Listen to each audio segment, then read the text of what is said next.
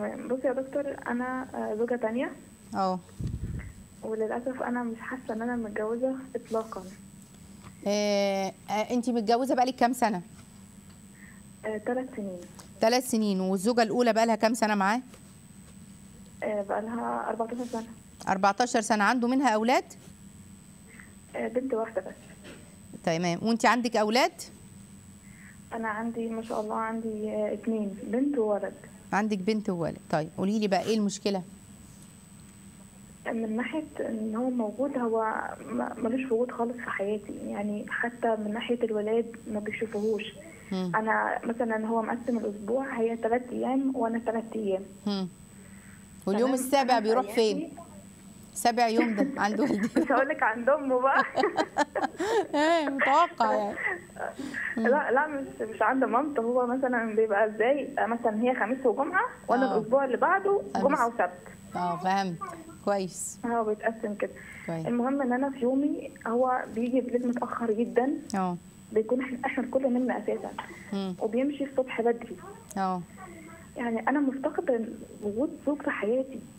يعني ما بيقعدش. معاك وما بتتقابلوش ما فيش كلام ما فيش حوار ما فيش علاقة خاصة خالص خالص والله يا دكتور حتى من الاتصال أحيانا بيوحشني صوته بحب أكلمه آه. بيقول لي ما تتصليش بيا ما تتصليش أنا آه. ما بحبكيش تتصلي عليا إيه، ما تتصليش في الأيام اللي هو مع الزوجة الأولى فيها ممكن كده يعني لا. يقصد مم. لا لا عامة. خالص خالص آه في, في نفس الوقت هي ممكن تتكلمه وهو قاعد جنبي أيوه يا حبيبة قلبي أيوه يا روح قلبي الكلام ده كله. أنا مم. أنا ست برضه تمام.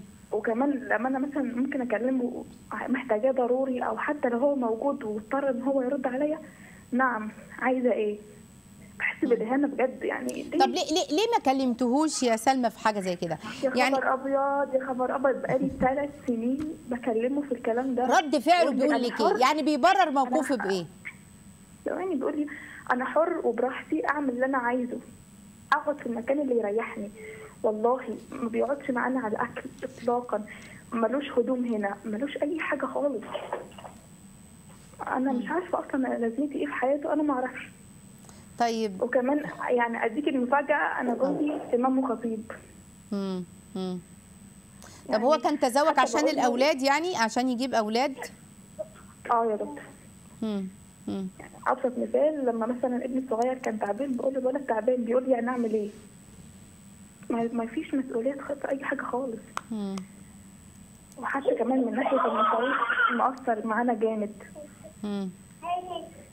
أنا بجد أنا فكرت كتير قوي ان أنا انفصل لأن أنا ما بقتش ما بقتش حاملة انت بتحبيه بتحبيه يا. سلمى انت بتحبيه هو أنا لما بحبوش هتحمل ال- ال- القصة دي ليه؟ جميل هو آه، قولي لي كيف معاملته مع أولاده بيقعد يتكلم معاهم حنون معاهم بصي أنا مش عارفة لو ده إذا كان صح ولا غلط هو لما بيحب يقعد مع الولاد بيجي ياخدهم مني يروح يقعد مع مراته الأولانية بولادي أنا يحب يخرج مشوار يروح ياخد الولاد. ويروح مع مراته ويروحوا يخرجوا أنا مفيش خروج معايا خالص مفيش كلام معايا خالص مفيش قعده معايا خالص. أقول له طب اقعد معايا عايزه أتكلم معاك اقعد طب معايا. عايزة برضو أكد على حاجة يا يعني. سلمى عايزة أكد على حاجة أنت بتقوليه. إن هو لما بيجي بي بي- بيجي وأنتوا نايمين وبيمشي الصبح وأنتوا برضو لسه نايمين وما بيبقاش في حوار ولا في الكلام ده ما بينك الحوار بينك وما بينه مش موجود والعلاقة. الخاصة مقطوعة الاثنين دول صح كده تمام. طيب اسمعيني يا حبيبتي اسمعيني اسمعيني. طبعا يعني آه، آه، يعني أنا بخاطب كل راجل بيفكر يتجوز آه، زوجة تانية. آه، أنت اتفقت مع زوجتك الأولى إنك تتزوج وهي موافقة وعلشان عندك أولاد أو عشان تجيبوا أولاد والكلام ده. بس اللي أنت خدتها دي بني آدمة اللي أنت خدتها دي بني آدمة إنسانة لها مشاعر وحبتك.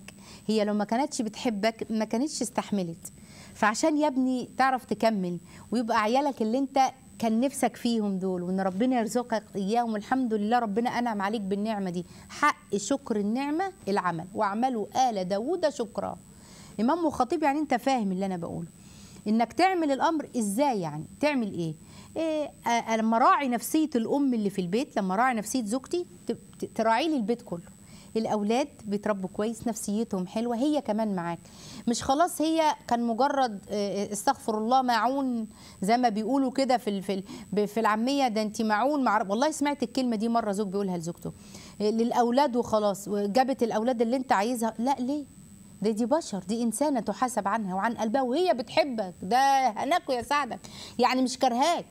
يعني الراجل يت يعني يتمنى إنه تبقى في حياته. يا عم ده هارون واحد أهو واحدة الاولى بتحبك والت... يعني حاجة جميلة يعني. ليه ليه ليه, ليه تحط حاجز ليه؟ مأمور بالعدل. العدل في المبيت والمراعاة حتى اديها حتى يوم الثلاث أيام أنا بتكلم معاكي فيه. إيه، أنت فرحان بعيالك؟ ما هو عيالك من زوجتك دي من اللي هي دي اللي رضيت إنها تبقى زوجة تانية واللي هي رضيت كذا وأنت عشمتها. وأكيد هنجيب وحاسة إنها تبقى في عيشة سوية معاها. تاخد العيال وتروح للأولانية يا سيدي وماله بتفرحها وكله بس هي برضو من حقها. دول أولادها ما تخرج معاها.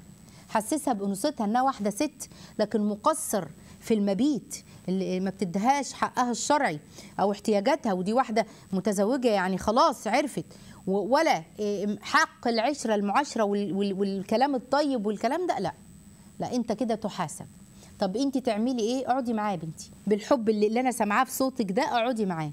وليه مش تقعدي معاه بنقول وخلاص. أنا حره أقعد في الحتة اللي أنا ما بقولكش ما تروحش وما تقعدش. ما أنت خليكي ناصحة برضه في الكلام اللي هم بيلفلفوا الكلام. اللهم بارك يعني. أما يقولوا يقولوا لا أنا أقعد في المكان أنا بتكلم في الوقت اللي أنت معايا فيه. الوقت اللي أنت معايا فيه معذرة أنا عايزة حقي فيه حقي كلام اتكلم معايا. أكلم مين أنا؟ يعني أنا تسيبني كده أما قاعدة أنا إيه يعني؟ لا. وأمر عيالك لنا مرة حتى في الشهر نخرج أنا وأنت وعيالك. يلا ما يروح كوفيد دوت ويروح كورونا خلاص إحنا نمشي. ونخرج. أنا وأنا وأنت والأولاد ده حقك وتقعد معايا. وبعدين أنا في معلش أنا ليا مرة في كل أربع أيام أنت بتجيلي الثلاث أيام على الأقل يبقى فيه مرتين علاقة خاصة بينك وما بينه أو أو المستطاع أو ال- الأمر اللي أنتم متعودين عليه. قولي له دوت ده حق اطلبي. اطلبي لأن دي حقك. بس بالراحة. وبصوت هادي. وقولي له دي احتياجات أنت محتاجاها حقيقيه وأنت وهو قصر فيها تساليه أمام الله عز وجل. بتقولي له القعدة دي مش هطلع منها غير إن أنت دلوقتي أمام الله تقول لي إن أنت الثلاث حاجات اللي أنا طلبتهم ده حقي. اللي أنا بقوله لك ده إن أنت هتنفذه. سمع الكلام يا بنتي ألف نهار مبروك. ما سمعش الكلام بتجيبي الوسيط اللي دخل. أهو ابوكي فين عمك فين عيلتك فين؟